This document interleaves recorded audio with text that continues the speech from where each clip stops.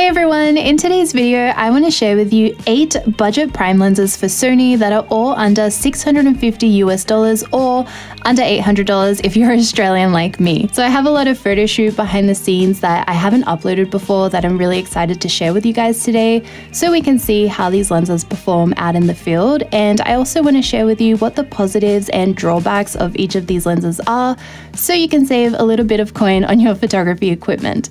And I also wanted to say that even though I'm giving a negative point for each of these lenses. All these lenses are in this list because I really like them and I enjoyed shooting with them and I liked the photos that they produce. So the first lens that we're going to start off with is the Sony 35mm f1.8. This is a very small and lightweight lens and I was really pleasantly surprised when I used it at a portrait photo shoot.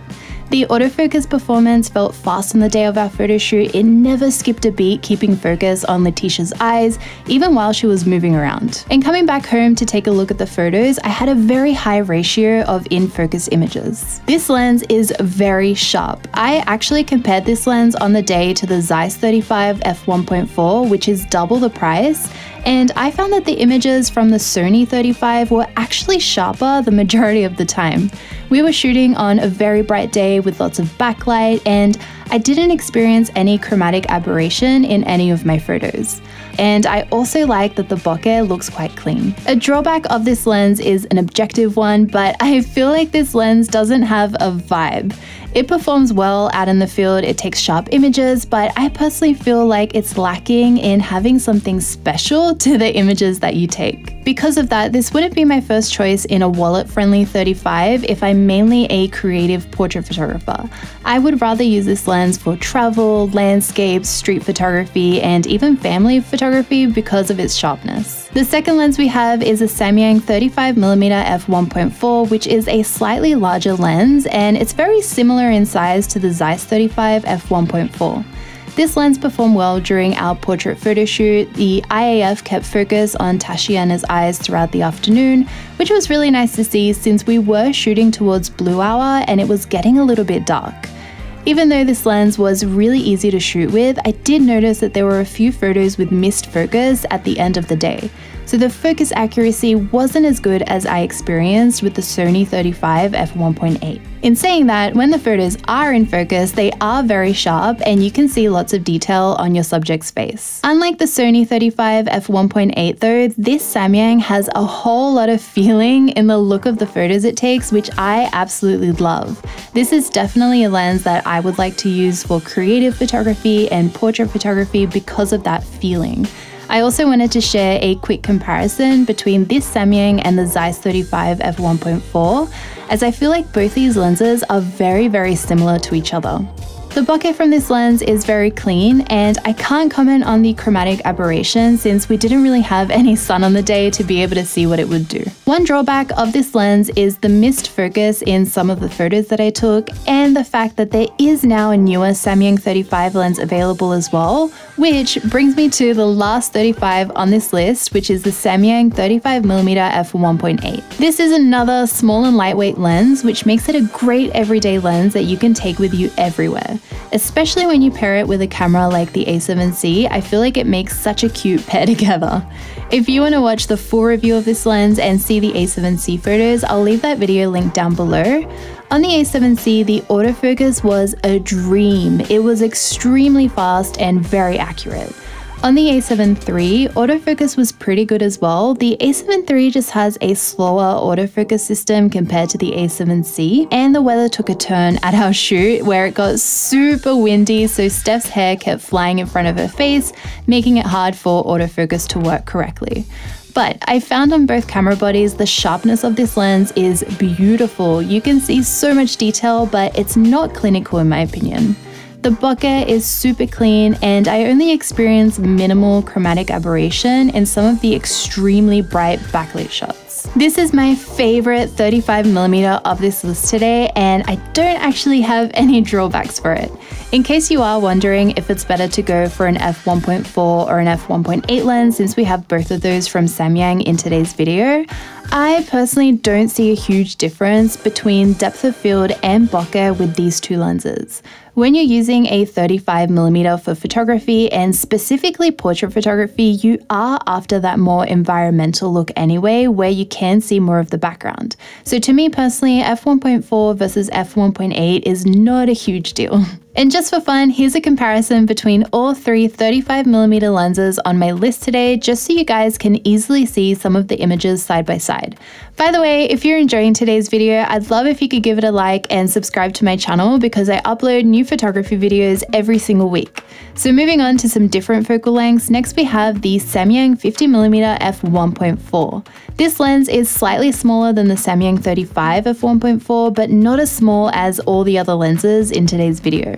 I really like this lens. It has good autofocus performance and a pretty good ratio of in-focus photos from our shoot in the shade with Tashiana. I use this lens during the same photo shoot as the Samyang 35 f1.4 and while they have similar autofocus performance, I found the 50 had more photos in focus. The sharpness of this lens is again really beautiful for portrait photography specifically.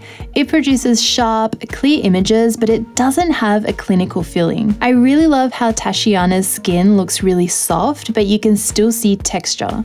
The bokeh is super clean and again, I can't comment on the chromatic aberration since there was no sun on this day. My drawback of this lens is that I wish it had a slightly higher ratio of in-focus images. The rendering of this lens is just so nice for portrait photography, it's really really flattering for skin. However, there were some photos that look fine at first, but when you zoom in, you can notice that it did slightly miss focus on the eyes. This next lens is tied for first place of my favorite lenses in this list, which is the Zeiss 55mm f1.8. I've already uploaded two videos with this lens, which I'll leave linked down below if you guys want to watch. One is a behind the scenes and the other is comparing it to the Zeiss 50mm f1.4. But in short, I adore this lens. It's small and lightweight and for the price, it produces some beautiful photos. The autofocus performance is great, the Eye AF is super sticky on the eyes with both the A7C and the A7 III. I love the sharpness of the images, the colors straight out of the camera and nice and vibrant and contrasty, and the bokeh looks nice and clean. I did experience some chromatic aberration with my backlit photos, but they were really easy to correct in Lightroom. The drawback of this lens for me is the lens flare. I know you can put a lens hood on to avoid this, but I regularly shoot without a lens hood for the low contrast and lens flare effect in my creative portraits. The lens flare in this lens looks pretty cool, but I found it to appear frequently in really awkward positions where it would just cover my model's face. I know it's a little bit of a niche drawback, but lens flares and good lens flares are very, very important to me. Just to show you guys as a comparison, I know this lens is very, very expensive, but I love, love, love, love, love the lens flare from the GM 50mm f1.2. The next lens we have is a little bit of a wild card, but I had to include it since it was my first small and budget friendly lens, the Sony 28mm f2. This is probably the optically weakest lens of all the lenses in my video today, but I still really like it. This lens is great for photographers who do a little bit of portrait photography, but mostly focus on travel photography, video, landscapes, and street photography. While I've done a couple of portrait photo shoots with this lens and I like the results, I wouldn't use this as my main or only portrait lens. The focal length can look a little wonky for portraits and you are limited in only being able to capture mid-length or full body shots as it's a bit challenging with this focal length to get close-ups. The reason I bought this lens is to use it for photo and video while I was traveling. Again, I have a whole video dedicated to this lens that I'll leave link down below if you guys want to watch, but I couldn't make a budget-friendly Sony lens video and not include this little lens. Lastly, we have two 85s. The first one is the Sony 85mm f1.8, which is an incredibly bang for buck lens in my opinion. I compared it in a past video to the GM85 f1.4, and the results were insanely close when you consider the price difference. I've done a couple of photo shoots with this lens and every time the Eye AF was super sticky on my subject's eye and the autofocus performance was great.